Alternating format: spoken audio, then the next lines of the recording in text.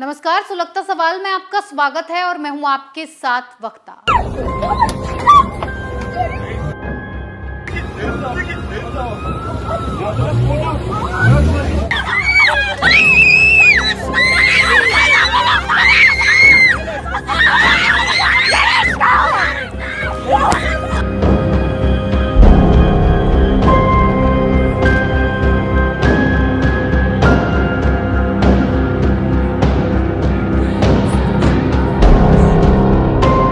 आज सवालों से इसी जल्लाद हिजाब गैंग को सुलकाएँगे कट्टरपंथियों की करतूत को बेनकाब करेंगे, क्योंकि एक मुस्लिम देश में महिलाओं के साथ अत्याचार की ऐसी तस्वीर आई है, जिन्हें देखने के बाद आपकी रूह भी काँप उठेगी। आगे कुछ बताएँ, पहले दरिंदगी की ये तस्वीर देखिए।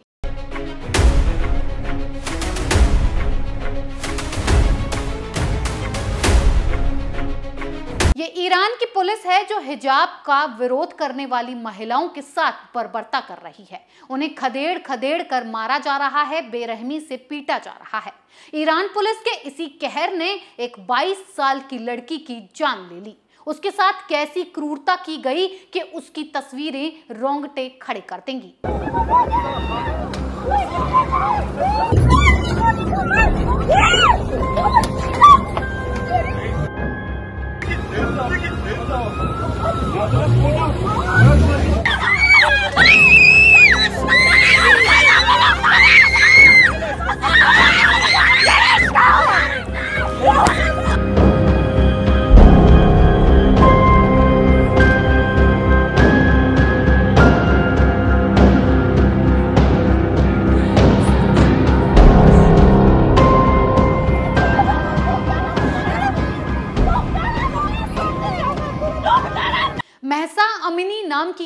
अब इस दुनिया में नहीं रही। इसे ईरान पुलिस ने मौत के घाट इसलिए उतारा क्योंकि महसा अमनी ने महिलाओं की आज़ादी, हिजाब से आज़ादी की मांग उठाई। सड़कों पर हिजाब के खिलाफ उतर आई, जमकर प्रदर्शन किया।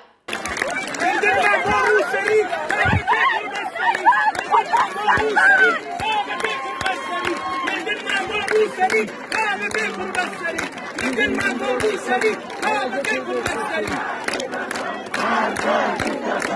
Anarquística! Anarquística! महसा अमनी ने न सिर्फ़ हिजाब, बल्कि लाखों महिलाओं के साथ ईरान की दरिंदगी बरतने वाली पुलिस का विरोध भी किया। डटकर सामना किया, लेकिन ईरान पुलिस इस लड़की पर कहर बनकर टूट गई। महिला पुलिस के साथ साथ पुरुषों ने भी इसे पहले तो बुरी तरह पीटा और फिर अपने साथ वैन में बंद करके ज़बरदस्ती उठा कर ले गई। तीन दिन तक ईरान पुलिस ने महिला को कस्टडी में रखकर बुरी तरह पीटा। महसा अमनी का इतना बुरा हाल किया कि आखिर में उसकी मौत हो गई लेकिन ईरान की महिलाएँ भी हिजाब के खिलाफ प्रदर्शन करने से रुकी नहीं ईरान पुलिस से डरी नहीं उन्होंने सड़कों पर उतरकर महसा अमनी की मौत का भी विरोध किया अस्पताल के बाहर इकट्ठा हो गई नारेबाजी की ईरान की बर्बरता बरतने वाली पुलिस पर भी सवाल उठाए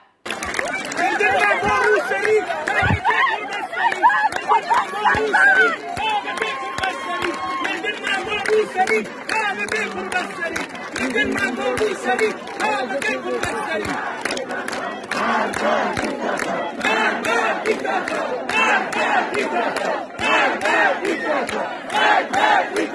अमिनी के अंतिम संस्कार के लिए जुटी भीड़ ने सरकार के खिलाफ जमकर नारेबाजी की और तानाशाह का नाश हो जैसे नारे लगाए। ईरान में अब हालात ऐसे हो गए हैं कि महिलाएँ हिजाब उतार उतार कर फेंक रही हैं। मामले में पुलिस पर टॉर्चर के आरोप लग रहे हैं। परिवार अमनी की पुलिस कस्टडी में मौत की जाँच की मांग कर रहा है। लेकिन सरकार सिर्फ़ हाथ पर हाथ रखकर तमाशा देख रही है। क्यों? क्योंकि ईरान में हिजाब उतारने को कानूनन अपराध माना जाता है और इसकी सजा दी जाती है। यानी खुली तानाशाही चल रही है, जिससे सवाल सुलग रहे हैं। ईरान की महिलाएँ सड़कों पर क्यों उतरी? हिजाब से महिलाओं को कब मिलेगी आज़ादी? क्या महिलाओं को खुलकर जीने का अधिकार नहीं? क्या हिजाब थोपना महिलाओं के ऊपर सही है। हैरानी की बात तो ये है कि ईरान सरकार ने हिजाब ना पहनने वाली महिलाओं के खिलाफ एक्शन के लिए अलग से पुलिस टीम बनाई हुई है, जो सिर्फ़ देश भर में बिना हिजाब वाली महिलाओं को पकड़ पकड़ कर टॉर्चर कर रही हैं। तो एक तरफ़ इस्लामिक देशों में महिलाएँ हिजाब से मुक्ति चाहती हैं, हिजाब उतार कर फेंक रही हैं तो दूसरी तरफ़ हिंदुस्तान में उल्टा बवाल चल रहा है, जहाँ खुद सरकार हिजाब जैसी कुप्रथा को खत्म कर महिलाओं को आज़ादी देना चाहती है। लेकिन धर्म के ठेकेदारों, कट्टरपंथियों को ये बात हजम नहीं होती। ये मुस्लिम महिलाओं को भड़काकर सड़कों पर उतार देते हैं। हिजाब के समर्थन में प्रदर्शन करवाते हैं, मुस्लिम प्रदर्शन लॉ बोर्ड तक हिजाब को महिलाओं पर थोपने के लिए तमाशा कर रहे हैं। अब इन्हें आँख खोलकर इस्लामिक देशों की महिलाओं को देखना चाहिए कि कैसे वो आगे बढ़ने के लिए, हिजाब जैसी कुप्रथा के लिए जान दाव पर लगा रही हैं। लेकिन हिंदुस्तान में तो हिजाब को सियासी मुद्दा बना दिया गया है। हिजाब के लिए छाती पीटी जाती है, मामला हाईकोर्ट से होते हुए सुप्रीम कोर्ट में पहुँच चुका है। क्योंकि हिंदुस्तान में तो स्कूलों में भी हिजाब पहनने की मांग की जा रही थी, जिस पर हाईकोर्ट पहले ही सख्त टिप्पणी कर चुका है। कट्टरपंथियों को लताड़ लगा चुका है और साफ़ शब्दों में कह चुका है कि हिजाब पहनना है तो अपने घर में पहनिए, स्कूल, कॉलेज का ड्रेस कोड काम होता है, जहाँ सभी को समान नियम फॉलो करने पड़ेंगे। यहाँ हिजाब या किसी भी धर्म के ड्रेस कोड को परमिशन नहीं दी जाएगी, यानी शैक्षणिक संस्थानों में हिजाब पर प्रतिबंध हटाने से कोर्ट ने साफ़ साफ़ इनकार कर दिया है। हाईकोर्ट की लताड़ से भी इन्हें ठंडक नहीं पड़ी और ये कट्टरपंथी महिलाओं पर हिजाब थोपने को लेकर सुप्रीम कोर्ट पहुँच गए। यानी हाईकोर्ट के फैसले को उन्होंने चुनौती दी। यहाँ भी हिजाब गैंग को मुँह की खानी पड़ी। सुप्रीम कोर्ट से इन्हें पाठ पढ़ाते हुए कह दिया गया है कि नियम कहते हैं कि शैक्षणिक संस्थानों को ड्रेस तय करने का अधिकार है और हिजाब उससे अलग है। कुछ नहीं मिला तो कट्टरपंथी सिख समुदाय की पगड़ी कृपाण पर ही सवाल उठाने लगे। जिसके बाद कोर्ट ने साफ़ शब्दों में कहा कि सिखों के कृपाण और पगड़ी की तुलना हिजाब से नहीं है, क्योंकि सिखों के लिए पगड़ी और कृपाण पहनने की अनुमति है। इतना ही नहीं, कोर्ट में अफ्रीका, अमेरिका और कनाडा के कानून का हवाला तक दिया जाने लगा।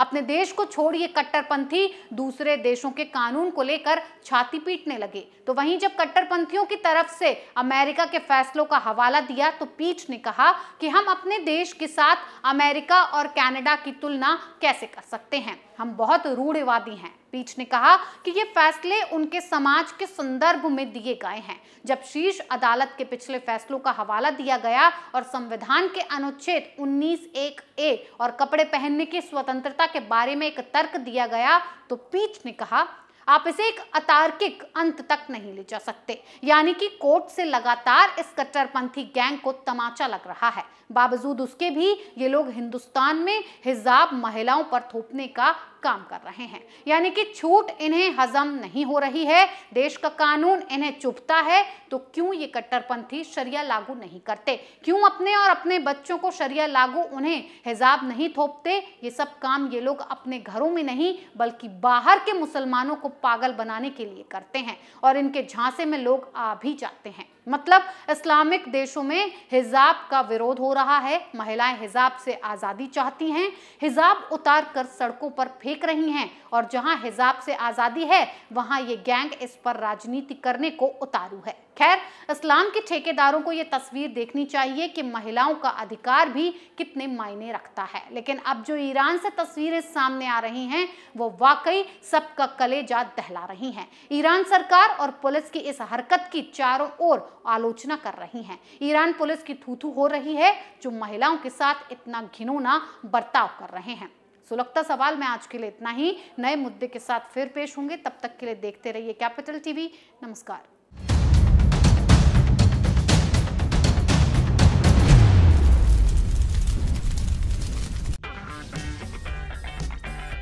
अगर आपको हमारा वीडियो पसंद आया हो तो इसे लाइक करें, हमारे चैनल को सब्सक्राइब करें और हाँ बेल आइकन दबाना ना भूले, ताकि आप तक हमारे वीडियो की नोटिफिकेशन पहुँचती रहे। आप अपना सुझाव हमें कमेंट बॉक्स में दे सकते हैं। हमारे साथ जुड़ने के लिए शुक्रिया। मैं राजनीति करता नहीं, पर राजनीति को बहुत गहरे तक समझता हूँ। मैं लोगों के बीच रहता हूँ, लोगों के मन को अच्छे से जानता हूँ।